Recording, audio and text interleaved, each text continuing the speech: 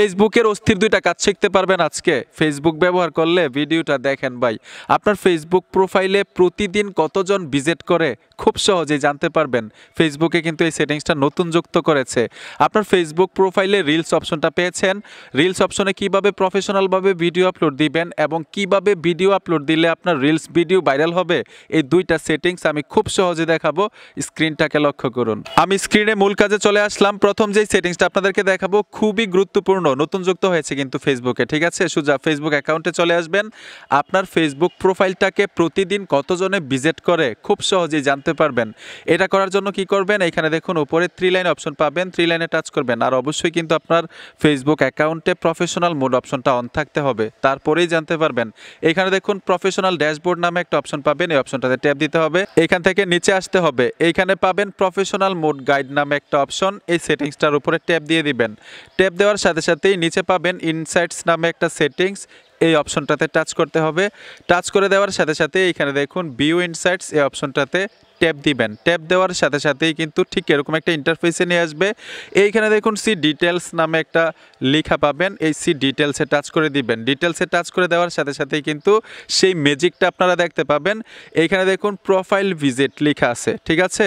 এই যে দেখুন লাস্ট আঠাইশ দিনে আমার প্রোফাইলটা ভিজিট করেছে তেরোশো মানুষে, তেরোশো চুয়ান্নটা মানুষে ভিজিট করেছে। আপনি যদি এইখানে ট্যাপ দেন, এই যে দেখুন, আমি এইখানে ট্যাপ দিলাম ট্যাপ দেওয়ার সাথে সাথে লাস্ট সাত দিনেরটাও দেখতে পারবেন। লাস্ট সাত দিনে আপনার প্রোফাইলটা কতজন মানুষে ভিজিট করেছে, ঠিক আছে? যে দেখুন লাস্ট সাত দিনে এখানে প্রোফাইল ভিজিট লেখা আছে, এখানে স্পষ্ট লেখা আছে ছয়শো জন। এখন দেখাবো আপনার ফেসবুক অ্যাকাউন্টে রিলস অপশনটা পেয়েছেন। কীভাবে রিলস ভিডিওতে ভিডিও আপলোড দিলে ভাইরাল হয় এবং সঠিক নিয়ম কোনটা? সহজে আপনাদেরকে দেখাচ্ছি। যে ভুলের কারণে আপনার রিলস ভিডিওতে ভিডিও ভাইরাল করতে পারেন না। এই যে দেখুন, আমি রিলসে টাচ করে দিলাম। রিলসে টাচ করে দেওয়ার সাথে সাথে এখানে দেখুন ক্রিয়েট রিলস মানে আপনি আপলোড দেওয়ার জন্য কিন্তু এখানে একটা অপশন আছে। আপনি এখান থেকে তাদের ভিডিওগুলো দেখতে পাবেন আর আপনার নিজের ভিডিও আপলোড দিলে এখানে টাচ করতে হবে। আমি এখানে টাচ করে দিলাম। এইখানে দেখুন গ্যালারিটা শু করবে। আগে থেকে যদি ভিডিও করা থাকে, এখানে শু করবে। আর আপনি যদি চান, আপনার ফোনের ক্যামেরাটা দিয়ে শ্যুট নেবেন ভিডিও, এখানে ক্যামেরা টাচ করলে আপনার ফোনের ক্যামেরাটা ওপেন হয়ে যাবে, খুব সহজেই শ্যুট নিতে পারবেন।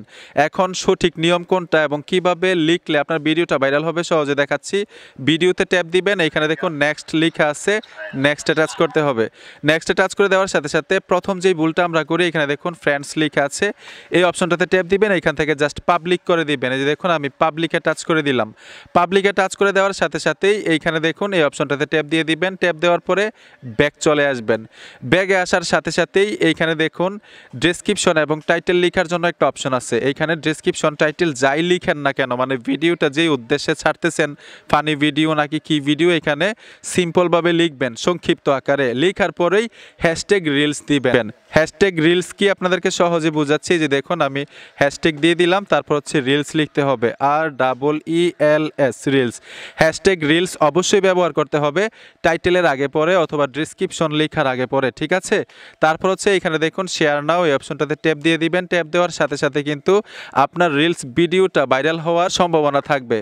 তো বন্ধুরা, আশা করি খুব সহজে বুঝতে পেরেছেন যে কীভাবে রিলস ভিডিওতে প্রফেশনালভাবে ভিডিও আপলোড দিতে হয় এবং কি লিখলে, কি সেটিংস করলে রিলস ভিডিওগুলো ভাইরাল হওয়ার সম্ভাবনা থাকে।